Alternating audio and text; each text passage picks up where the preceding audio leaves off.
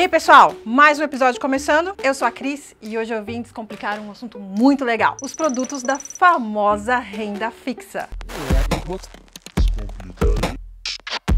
Aí, B3! Antes de escolher investir em algum, sempre tenha em mente qual o seu objetivo com aquele investimento. É um carro? Viver de renda? Um curso no exterior? Dessa forma fica mais fácil decidir.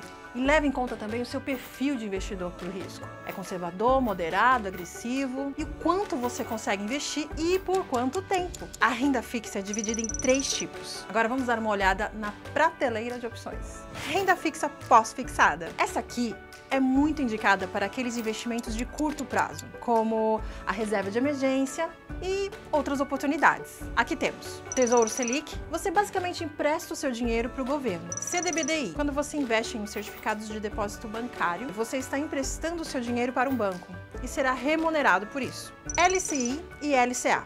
Sopa de letrinha, hein? Ah, que nada, tá fácil. LCI é a sigla para Letra de Crédito Imobiliário e a LCA para Letra de Crédito do Agronegócio. Os dois são títulos emitidos por bancos. Renda fixa pré-fixada. Essa aqui é muito indicada para aqueles investimentos com data definida, mas de curto prazo e para buscar um retorno superior à renda fixa pós. Então aqui temos Tesouro pré-fixado. Aquele título renderá exatamente o que foi acordado no momento da compra.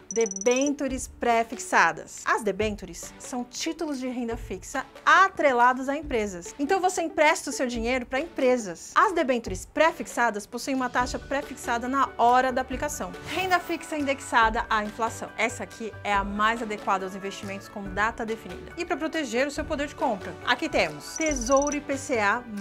Aqui entram também LCI, LCA e debentures, que pagam a inflação mais juros.